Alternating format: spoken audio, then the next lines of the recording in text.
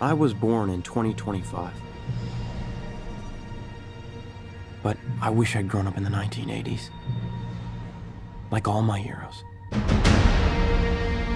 I live here in Columbus, Ohio.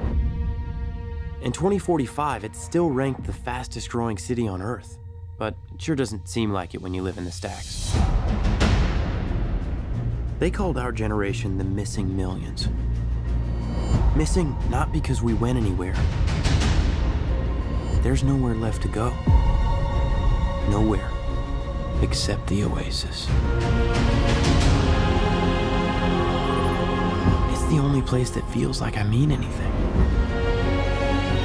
A world where the limits of reality are your own imagination.